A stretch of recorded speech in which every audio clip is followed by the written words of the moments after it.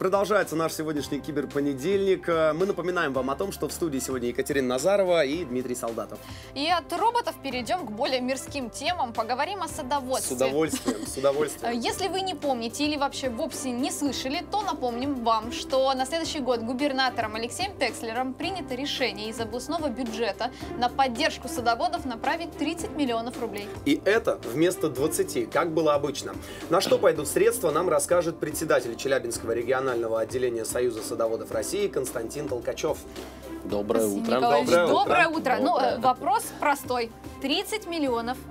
На, на что же они пойдут? Очень солидная сумма. Да, такая внушительная. Ну, в нашей области вот, э, уже на протяжении пяти лет действует э, программа поддержки с- э, садоводческих некоммерческих товариществ, а именно финансирование инфраструктуры э, садов, то есть это дороги, это внутри сада имеется в виду, там электрические мощности, это водоводы. Вот. И э, в этом году Алексей Леонидович э, э, поддержал на уровне 20 миллионов рублей, а на будущий год, уже на 2020, э, дал поручение правительству и уже э, в бюджет области на будущий год заложено 30 миллионов рублей, которые пойдут также на субсидирование затрат, э, которые садоводы сами на свои деньги изначально финансируют, то есть они хотят купить трансформатор, увеличить мощности у себя в саду, покупают этот трансформатор.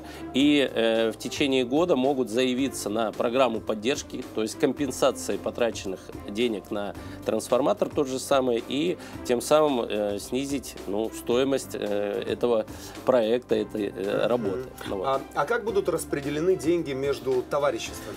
Вот в этом году 18 муниципалитетов из 43 Челябинской области получат э, определенную сумму денег. Как раз То они есть- поделят между собой. Да, дальше. То есть берем, например, там э, Челябинск, да, вот он, Челябинск получит 2,8 миллионов рублей.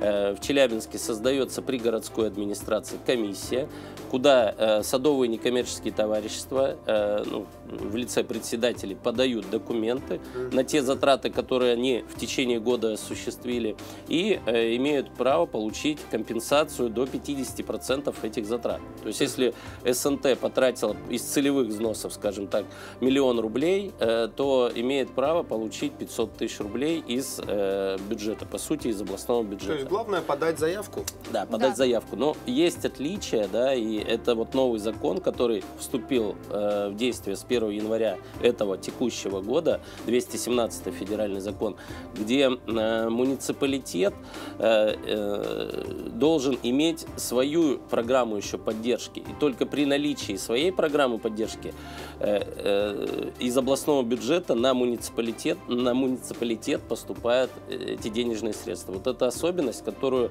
не все главы, э, скажем так, в прошлом году по нашей инициативе приняли, и поэтому в этом году получили не 43 муниципалитета получат, да, а всего лишь 18. Чуть меньше, Да. 18. Хорошо, Да. ну 18 это тоже неплохая сумма на самом-то деле. Неплохо. Да, Вообще, вообще вот так- такая сложная схема, сложная. Да, надо вот в ней разобраться. Кстати, по поводу разобраться, а, кто, выпол- э, кто определяет, какие работы необходимо выполнить, а какие нет? Ну, например, садоводы хотят, э, чтобы э, у них, не знаю, провели электричество, а им говорят, нет, нет, ребят, у вас будет асфальт. Нет, мы здесь говорим именно о изначально о компенсации изначально понесенных э, садоводами затрат. То есть То есть, уже- если уже садовое товарищество да, на своем общем собрании определило, что мы в этом году делаем дорогу э, центральную, допустим, да, по своему саду, и на это нужно там определенное количество денег, то э, уже председатель имеет право подать заявку на компенсацию понесенных затрат э, в этом периоде на эту дорогу.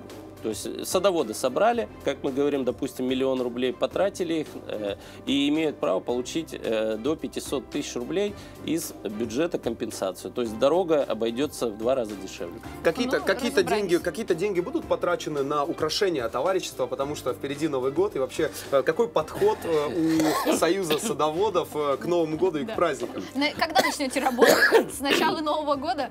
А, Нет, ну садоводы на самом деле они не дремлют никогда.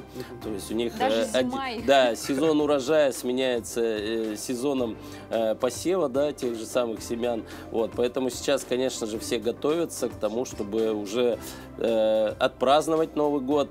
Э, и приступить э, к высадке семян для того, чтобы новый урожай был лучше предыдущего. В общем, мы будем поздравлять с Да. наступающим Новым годом И с- Союз садоводов да, России. и с наступающим новым урожаем. Да, Константин, большое вам спасибо.